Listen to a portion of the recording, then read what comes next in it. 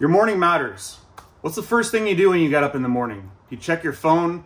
Do you like start swiping? Do you start to look at the news or start to complain about what's going on in the world? Or do you actually sit there and actually consciously make a decision about how you want to start to feed your mind when it's at its most, one of its most fertile points of the day?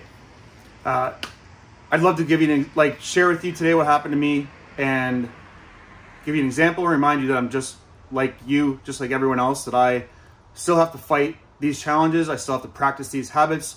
Uh, I still screw up myself. This morning I woke up, the first thing I did was on Instagram and I'm scrolling, scrolling, just watching all the negative news and it just instantly sent me downward. It sent me negatively thinking about uh, my situation's not good enough or worrying about the past all these stupid things that you don't want to be programming your mind with when you when you start out your day. So I came here in the gym, as you see, as you can see now, it's uh, the the wall is complete, which is uh, massive. Um, if, if, you remember from some of my previous videos, I was talking about um, as you prioritize your day and your life, uh, referencing the book titled "The One Thing." Like, what's the one thing that if you were to do such, makes everything else become easier or unnecessary. Uh, for me, getting this done was that one thing, but that's referencing another video. Um, what I want to point out is that I woke up thinking shitty. I was just like totally, I, I did it to myself. I got myself down in the dumps just by scrolling Instagram like right away before I'd even like gotten out of the bed sheets. It was the worst. And I have been struggling to go to sleep without my phone in my room because I, my schedule is so off because of doing this that I needed it for the alarm clock. Again, another story. So the point being is that like I'm scrolling Instagram. My mind just goes. I can't whistle right now. I got no water. Dry lips. My not my mind goes whoo down real fast.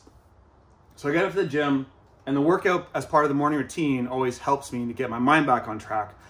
But in particular, I say to myself, I'm like, I want to program my mind. I want to I want to pay attention to something that's going to help me think differently. And so for me, uh, I went to YouTube to look up a Jim Rohn video, and then a video by Joe Dispenza popped up um, on impact theory with Tom Bilyeu. And basically, I'll, because this is going to go on Instagram, Facebook, um, and YouTube, uh, I, will link it where I can, the video to Joe Dispenza. And to be honest with you, in some ways, it's just like every other motivational video, something to fire you up. But everything that Joe is talking about is to pay attention to how you think. What are your habits? What's that morning routine look like for you? Because as you choose these different pieces of information to consume, they're going to start to program your mind. You're going to start to condition yourself mentally and emotionally to think a certain way. And if you find yourself, even if it's the wrong emotions that you're constantly referencing, what will begin to happen is that you'll choose to pursue those negative emotions because they're so familiar, it's certainty for you. You'll choose the negativity because at least you know exactly what you're going to get. And where most people are, are most, where most people fear is living in the unknown. And taking time to craft your thoughts, to create a new reality out of your imagination, your ideas, your desires, takes spending time in the unknown takes time thinking about something that you're not familiar with which is why most people don't do it why we want to like retreat and go do something else that we are familiar with. So I, am going to wrap this one up here. Uh, i'm actually dying of water right now. I just can't even i'm just so dying here.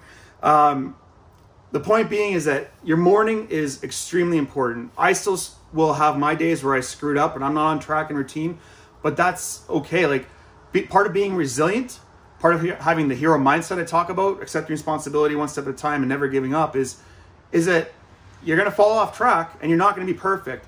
But accept responsibility. I'm responsible for this, this situation, my mindset, how I, what I choose to do about it. What's the next step? Well, the next step for me was not just continuing to consume, but at least get out here and start to do something, and then um, accept responsibility one step at a time. Never give up. Persistence you know, what can you continually try to do to program your mind to just do whatever it is that you need to do? Keep trying. Don't quit. Just keep moving forward. Keep giving a shot. Um, pay attention to your mornings own your morning, and uh, own your life, own your mind, own the day. All right? Kevin Rempel, peace out. See you soon.